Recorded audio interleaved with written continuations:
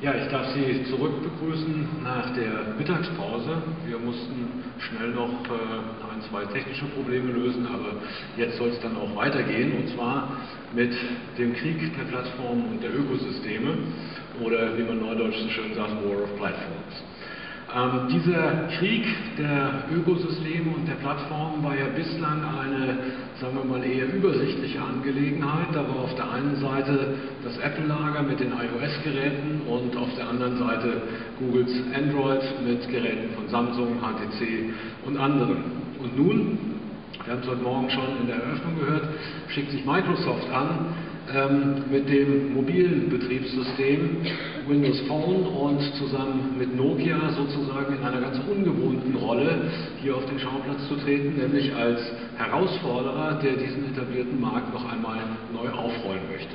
Allerdings sind sie dabei, auch das haben wir heute Morgen schon gehört, vor allen Dingen auf die Unterstützung der Entwickler angewiesen der App-Entwickler, denn diese kleinen, unkompliziert zu nutzenden, schnellen Apps, die sind es, die den mobilen Endgeräten ja erst ihre wirkliche Funktionalität liefern, die sie nutzbar machen für den Nutzer, das heißt, die ihren Nutzwert ausmachen.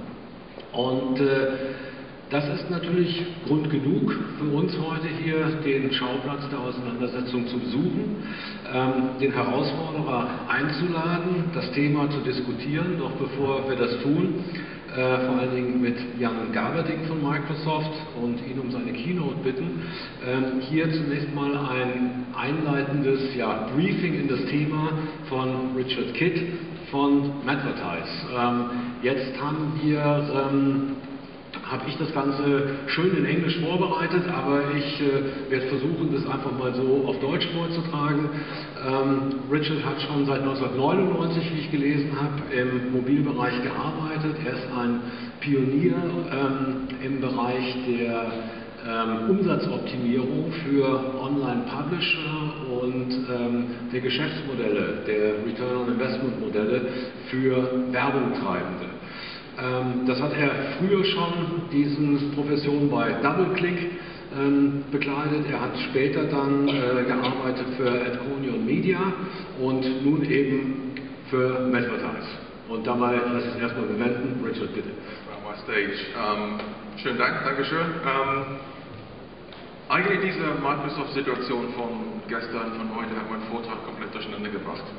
Um, die Situation ist ähnlich, wie ich vor ungefähr zig Jahren hatte, 1989, als ich auf, der Uni war und musste einen Vortrag vorbereiten mit dem Titel Ist die Wiedervereinigung Deutschlands eine Realität oder nur ein Traum?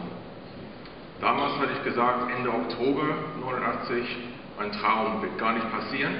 Zwei Tage vor meinem Vortrag passierte es.